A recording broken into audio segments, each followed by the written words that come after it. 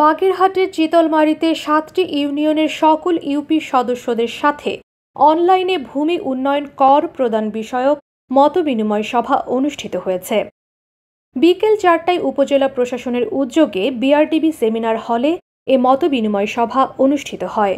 মতবিনিময় সভায় উপজেলা নির্বাহী কর্মকর্তা মোহাম্মদ লিটন আলী, জনগণের হয়রানি লাঘব, অনিয়ম দুর্নীতি বন্ধ ও সরকারি রাজস্ব আদায়ে ভূমি মন্ত্রণালয়ের বিভিন্ন নির্দেশনা জনপ্রতিনিধিদের মাঝে তুলে ধরেন। এ সময় তিনি আরও বলেন, এখন থেকে অনলাইনে ভূমি উন্নয়ন কর প্রদান করতে হলে ভূমির মালিককে প্রথমে জাতীয় পরিচয়পত্র ও মোবাইল নম্বর সহ অন্যান্য তথ্য প্রদান করে নিবন্ধন করতে হবে। একবার নিবন্ধন করলে ওই ব্যক্তিকে পুনরায় আর নিবন্ধন করতে হবে না। এ সময় তিনি ইউপি সদস্যদের বিভিন্ন প্রশ্নের উত্তর দেন। একই সাথে এ বিষয়ে জনসাধারণকে সচেতন করতে ইউপি সদস্যদের অনুরোধ করেন।